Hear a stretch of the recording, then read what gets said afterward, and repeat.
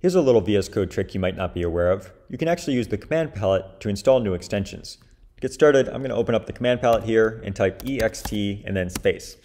When I do this, you can see that the command palette is now prompting me to press enter to manage my extensions. So the ext command in the command palette lets you run some additional commands for managing extensions. At this point, I'm just going to press enter to show that it opens up VS Code's normal extension view over here. So not too exciting.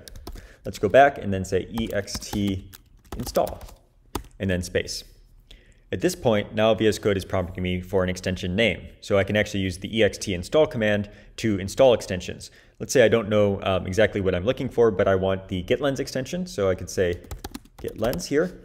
And you can see that it's prompting me to search for the GitLens extension in the marketplace. And if I press enter at this point, it, as you would expect, opens up a search and has the GitLens extension here at the top. But again, that's just open up, uh, opening up VS Code's normal extension view and pasting in the text GitLens. So maybe not too exciting as well because you can just click on this view down here and type out GitLens.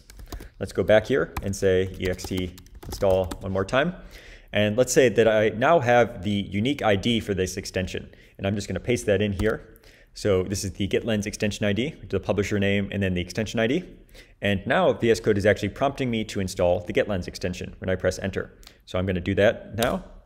And you can see that now just instead of showing the search results, VS Code has actually gone and installed this extension. So now GitLens is properly installed here.